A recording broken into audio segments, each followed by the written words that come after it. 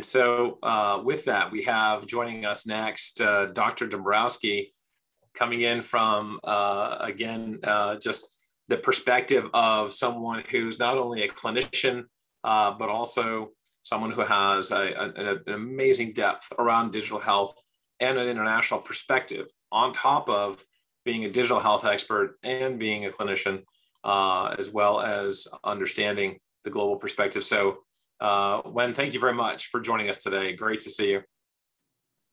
Thank you, Stan. Thanks for having me.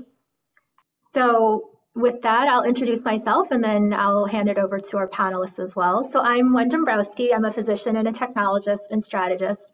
And my company Catalaize works with US and global healthcare organizations, technology companies, investors, and nonprofits and I love hearing about what different people and organizations are doing around the world because there's so much to learn from what, are, what other people are doing. And a lot of it can be translated and applied both locally as well as abroad. So with that, I'd like to first um, invite our panelist Pallabi to introduce our introduce herself. Um, maybe if you could just share some context about who you are, um, you know, how, how did you how did you get to where you are and like what populations you serve?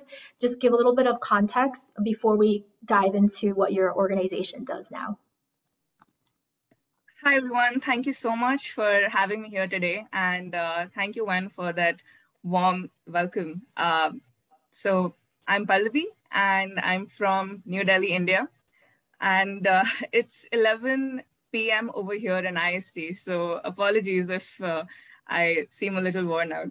But uh, I'm sure you've all had a very exciting day because uh, I was just listening to the previous panel and relating to a lot of things that were spoken about, especially about um, how we can provide equity and what needs to be done, you know, with respect to social determinants.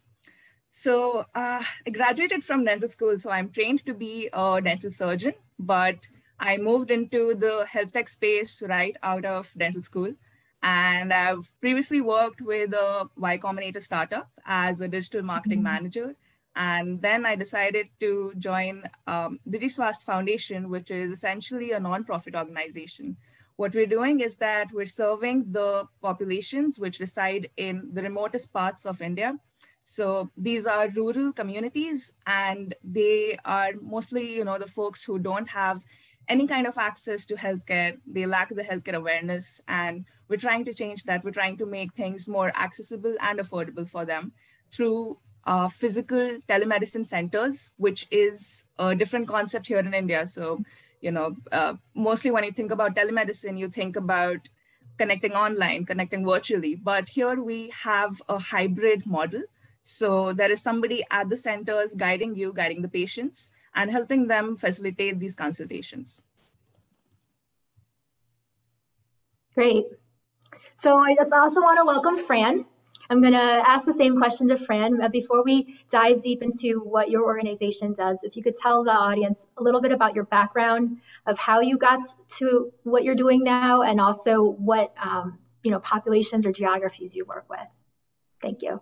Sure, happy to. So, hi everybody. I'm Fran Ayalasomayajula. I'm the uh, head, global head of digital health strategies at HP, uh, as well as a volunteer president of, of, REACH, which is a 501c3 global social impact organization.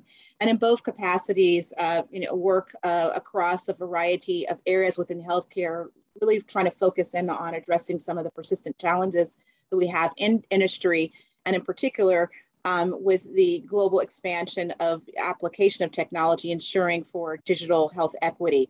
My background over 25 years in industry as an epidemiologist and public health professional, formerly worked for the World Health Organization, as well as CDC and many other institutions. And my practice has taken me to the far reaches of areas which included uh, Tamil Nadu, uh, India, um, which is um, some of the areas that were just previously described by the other panelists, as well as working with tribal um, and Aboriginal communities around the world. So excited to be on the panel today. Wonderful. So Pallabi, if you could tell us more about your foundation. I know it's a young organization, but you've already made so much impact. Um, you know, tell us how you started it and what you've done so far. Sure, I'd be happy to share that. Thank you so much. Uh, you know, it would be uh, too pompous of me to say that I have been there from the start. So let me break down the story for everyone over here. The foundation, the organization is started by Mr. Sandeep Kumar, who is a childhood cancer survivor. And he was diagnosed with Ewing sarcoma at the age of maybe 11 or 12. Uh, he belongs to this rural district in Uttar Pradesh, uh, which is a state in India. And he had to run around for about six months to just get the proper diagnosis. So when he was unable to receive a proper diagnosis um, after running around for six months, uh, you know, naturally his family went through a lot of turmoil and the people around him too. He lived with other cancer survivors and saw the treatment procedure. You know, he understood the uh, what the healthcare scenario is, and he realized that uh, even after five years of working in Mumbai, when he came back to his uh, village, when he came back to this rural district, he saw that the condition was still the same. People were still unaware about, um, you know, very common healthcare issues, and they were not seeking treatment for it. In fact, they did not even have access for it. So something as simple as a diagnosis, which for uh, urban India is perhaps five clicks away, was five months away for somebody who's residing in these rural areas. So that's when he decided to come up with Digi Swast Foundation. And we have been operating for about 15 months now. Um, however, we were registered as an organization, as a nonprofit uh, just this year. And the reason why it has been able to create the impact that it has is because we involve a lot of our um, local communities, the stakeholders, and engaging in conversations with them with these people that we're working for has helped us really progress um, you know multifold. So if there were somebody to come into this narrative from the urban areas uh, they would not have the gateway so to say. But because this has been started by somebody who is from the villages who understands the grassroots who understands uh, what it's like, you know, the last mile delivery of healthcare services. That's why it has been able to create the impact that it has. So a lot of uh, rapport building and, um, you know, there have been a lot of workshops, a lot of behavior modification programs that have been put in place to establish this trust and it has been developed over months very gradually and uh, it's not something that can be done overnight especially in a population that uh, does not believe in modern science. So, uh, coming to the tech aspects of what the um, organization does. So, like I mentioned, that there is a physical center where the patient walks in, and we have somebody called the patient navigator who acts as um, the middleman between the doctor and the patient. So what the person does is that they use digital tools like, um, you know, a digital weighing machine or a digital uh, oximeter, and they measure all these vital signs of the patients. After recording that, they connect the patient to the doctor through a teleconsultation platform. And this software is also where the electronic medical record is generated. Um, once this is generated, it's stored in a safe, you know, cloud network and it's accessible to all the doctors who are looking into the case. So the concept of EMR is relatively new in India. Um, over here, even in the urban areas, people don't really have records. So it's uh, you know it's too much for us to ask uh, people in the villages to have that. And uh, these are people who don't care much about it necessarily. So they often end up losing the records or you know they'll say that i don't know where my file is. I don't know what drugs i'm on. I don't know what i've been diagnosed with. That's the level of um, or rather lack of healthcare awareness that's still prevalent in the villages. So to make things easier for them we put it in a language that they understand and i'll speak more about this later uh, when we talk about the challenges that we'll be facing in these areas um, all of the consultations take place in a language that the patient understands. So because the patient navigator is somebody from the community, they're able to converse and they're able to translate for the doctor as well as for the patient. Post the consultation, which again, like I mentioned, happens over a video call. When there is a network issue, it happens over an audio call. Um, the patient is provided with a prescription, and this is again a digital prescription which we print for them. We facilitate the, um, you know, what happens next, what happens after the diagnosis. So often these people don't know what to do, and guidance, a referral pathway, a network is very important. So we lead them either to a pharmacy or a lab or a hospital in case they need to go ahead for you know further treatment.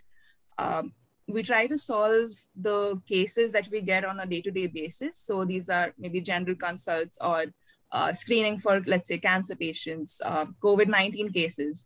However, we don't accept cases which come in as an emergency because our centers are not equipped to handle that yet. So uh, that is something that we have to refer to a hospital, and we're too, we're happy to you know make that uh, connection. So um, yeah, once the patient reaches uh, this, you know, uh, after the diagnosis, once they reach the hospital or the lab or the pharmacy, we also invite them to come back for a follow up, which uh, in this case is quite important. And about uh, as of now, um, just today I you know asked for the statistics, and uh, it turns out only 20% of our patients come back for a follow up. So that's something that we still need to work upon. Great, thank you, Pallabi. It's it's really exciting that you're working closely with the community to understand their needs and you know what their unique challenges are, and then you're combining that with telemedicine. So you know you have a rural area combining it with a with modern telemedicine, access to some of the top hospitals and doctors, and and I really like how you know before I, I was reading your website about digital, so it's the physical plus the digital.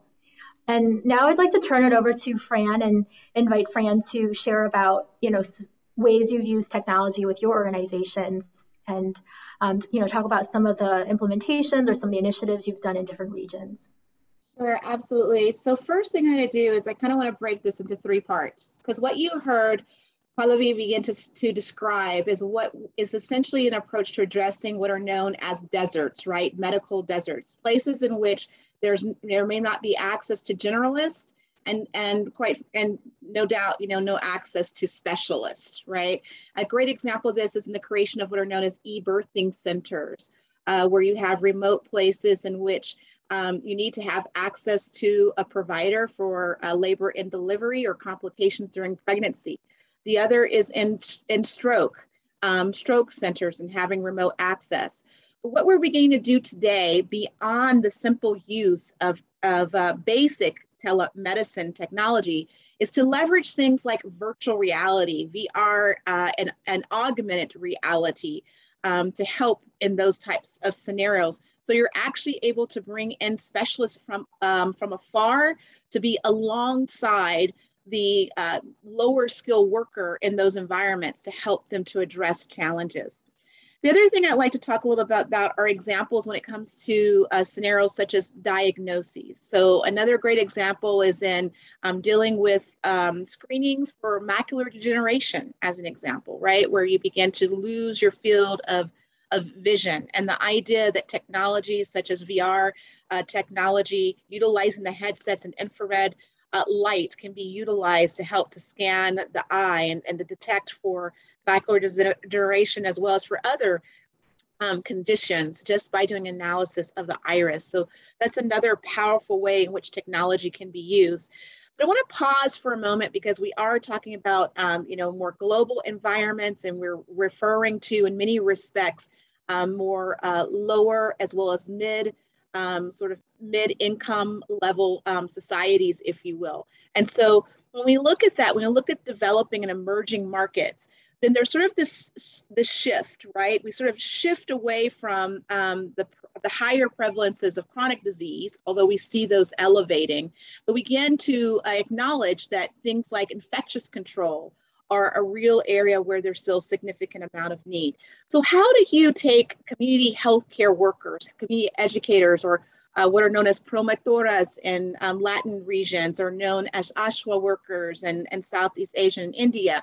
How do you equip those individuals with the technology that they need to be able to go into uh, areas that are either war-torn areas or areas where it, the terrain is, is, is, is so challenging that you can only get to on foot?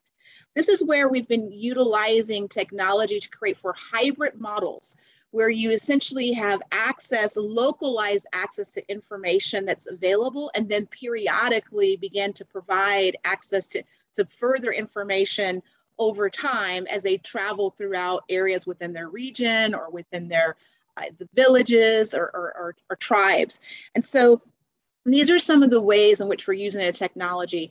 But I also want to acknowledge uh, the need uh, for upskilling the lower skilled workers because the reality is is that around the world there's a shortage in workforce uh, when it comes to the medical profession both amongst specialists physicians as well as nurses significant amount of shortages that are occurring. And in some markets for example um, in pakistan where it's very common that women will pursue an education in medicine and then ultimately for a significant amount of time doesn't actually practice because of her because of shift in priorities with family. And so being able to accommodate for those demands by still allowing for them to stay uh, up to up to uh, par with their their skill sets, as well as to be able to deliver care in communities where uh, care is needed is another example where groups like HP, along with partners such as uh, MetRed and many others, MetRed Academy, are utilizing technology to, to actually train up individuals. We're also si finding very similar uh, benefits when we're applying virtual reality technology, as we know that um, we're actually able to take the lecture time, right? Even the standard lecture time, be able to reduce that, uh, what is standardly a 15, 50 minute lecture all the way down to as low as 15 minutes of lecture time and yet having increased comprehension and retention of information. And when actually being um, called upon to perform, clinicians are performing a lot better. So we're really excited about these areas of diagnosis as well as treatment and as equally as training and education for clinicians. Wonderful, Fran. Thank you for that. So I see on the clock we just have a few more minutes left. So I'm going to ask this as a closing question. If you could just um, briefly summarize what, um, when you think about technology in the in the use of the different low resource settings that your organization works with, what are some challenges, opportunities, or your hopes for the future?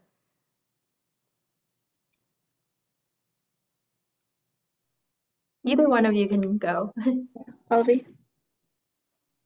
Okay, sure, sure. I'll go first.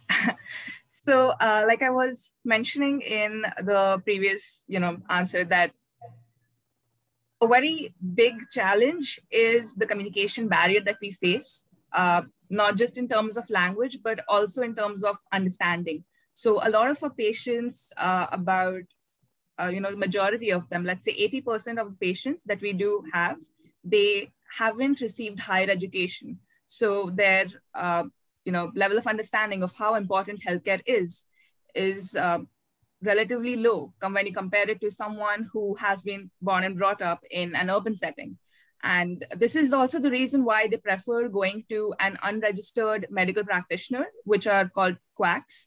And they have faith in them. They have faith in the traditional practices which are often more harmful than good. So uh, shifting you know their perspective and changing uh, the way they interact with medical professionals has uh, also been quite a challenge. Not just that, we also have uh, somebody asked in the uh, Q&A that is DigiSWAS providing pro bono consultations. Yes, uh, our services are pro bono. Uh, it depends on the doctors. We have about 80 plus doctors on board. So it depends on the healthcare professional how much they want to charge. Some of them uh, offer pro bono consultations, whereas some of them offer consultations at a subsidized rate, which comes down to about one US dollar, so about 100 bucks or so in uh, INR. And um, the other segment, apart from telemedicine, is the healthcare awareness.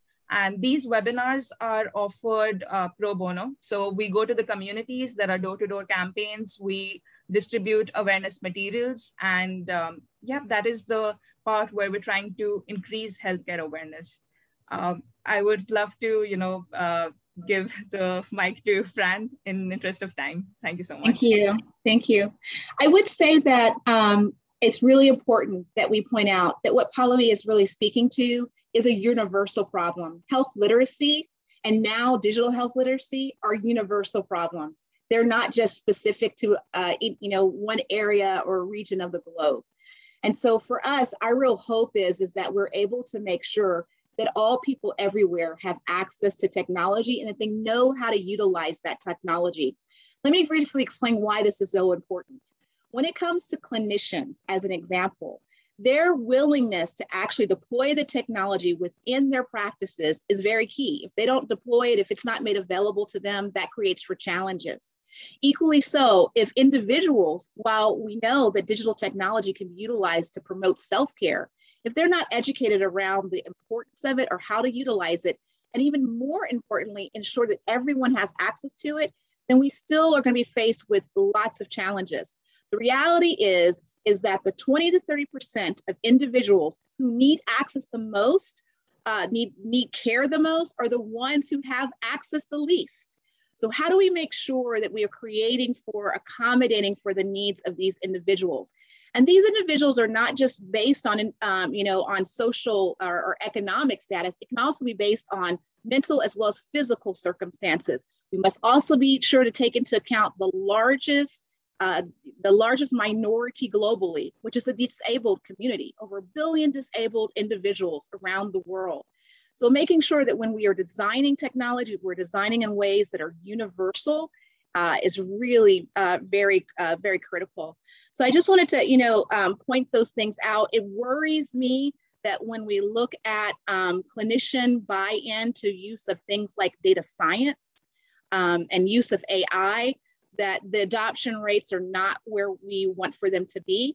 This not only requires for legislative changes, it also requires that there be more education given to clinicians. One of the big pushbacks that we have heard from the pandemic, uh, in the throes of the pandemic, while there was an increased use of technology, increased use of telemedicine, there were many who complained that they were not given uh, adequate training and support from the institutions who were demanding and insisting upon them utilizing the technology. So moving forward, these are the things that we want to put an emphasis on. Uh, our, we have a humanitarian goal at HP to touch over 150 million lives uh, with technology with an emphasis on women, disabled communities, and individuals of socially economic depressed environments and communities. So um, I'm just hopeful that everyone will join us in that journey. And I applaud um, as well as Wen for the amazing work that they are also doing in this field. Thank you, Fran. I, it's been amazing to hear about what Fran and Pallabi are doing. And I wish we had several hours because I know they both have a lot of rich insights and this conversation can continue. Um, I would like to also thank all the attendees for tuning in. Um, feel free to keep in touch with us. I will post our links again in the chat. Thank you, everyone.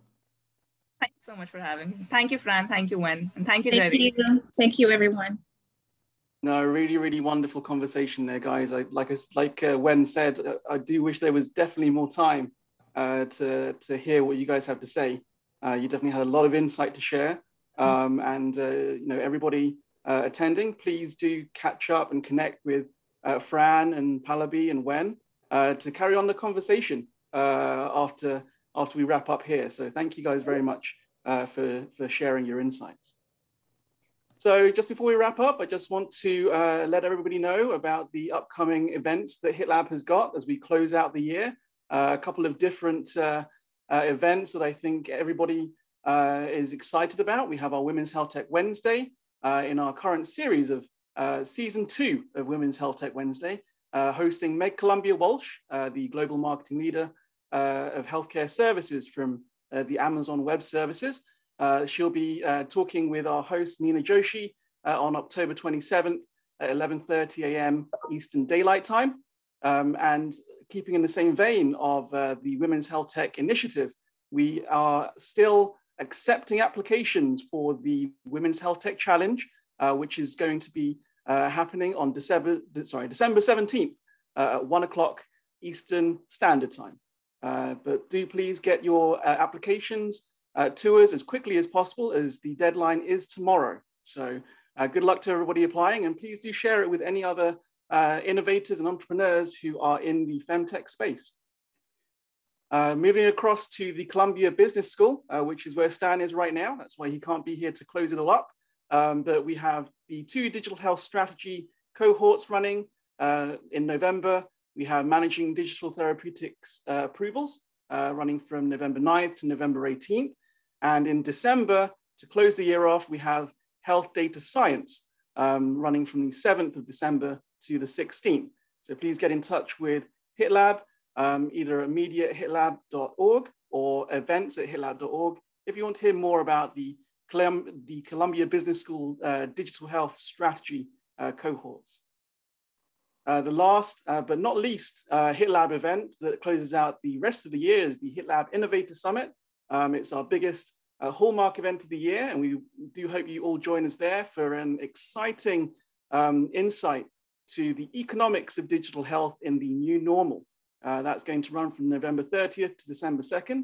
Uh, again, all the links for these wonderful events are in the chat. so please do check them out and do find out more on hitlab.org. And lastly, uh, as Stan mentioned, FTI Consulting is hosting a roundtable, an exclusive roundtable at that, uh, and a discussion uh, between uh, digital research and development, medical and pharma executives happening on October 26th at 11 a.m. Eastern. Uh, so if you are interested, again, please email events at hitlab.org or media at hitlab.org as well, if you are interested in participating. Uh, we'd like to, of course, thank our generous sponsors, without whom none of this would be possible. So we do want to thank the folks at Epiture, Medidata, Remember Stuff, LiveCare, Medocity, Curio, HealthX Solutions, and of course, Goodwin. Uh, so please do check them out. I think some of the links are in the chat for these wonderful organizations as well. And of course, we'd like to thank you, the viewers, uh, for coming on and joining uh, the, uh, the wonderful symposium uh, on digital health and human rights. So it just leaves me to say uh, good morning. If you are still in the morning time, good afternoon, good evening, and good night.